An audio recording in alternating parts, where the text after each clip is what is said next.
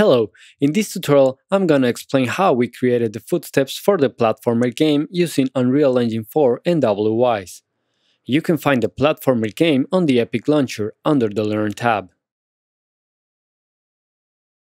On Wwise, we use a switch container to change between different surfaces. We also need a state group. This state is gonna have four states.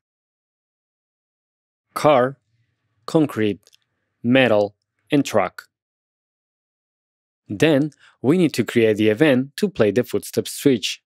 We also added a layer of servo sounds. From the switch container, we'll have to assign the state group we just created.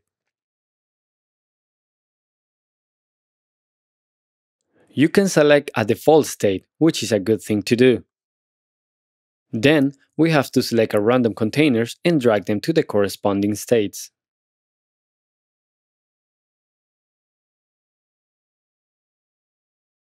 From the run forward animation sequence found in the animation folder, we can create an AK event animation notify. If we select it, we can assign the event we want to play. In this case, event footsteps.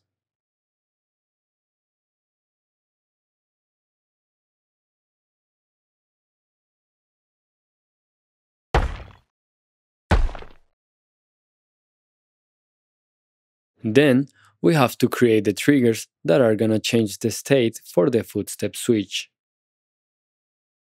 In this case, we are going to create one for the elevator.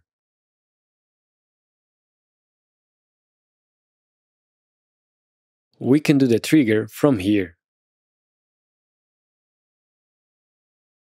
Next, we have to create the blueprint for the trigger. I already have mine.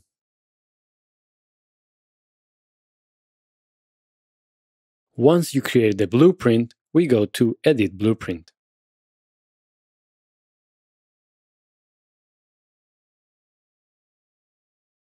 Inside the blueprint in the viewport on the Detail window, we can find the events on Component Begin Overlap and on Component End Overlap.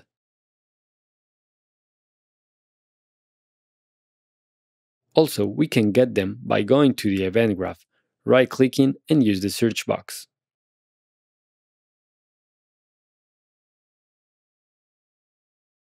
When the characters overlap the trigger, the state must change.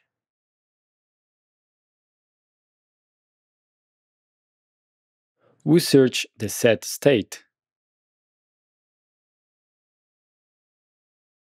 I already have mine.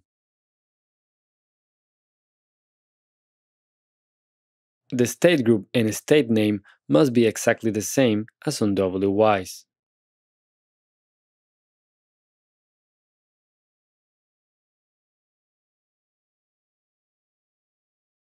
When the character ends the overlap, we will change the state again, this time to concrete.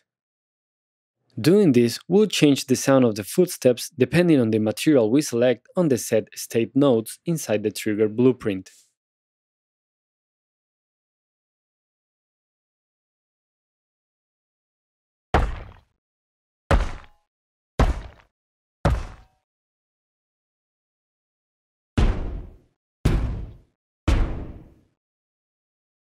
Thank you for watching.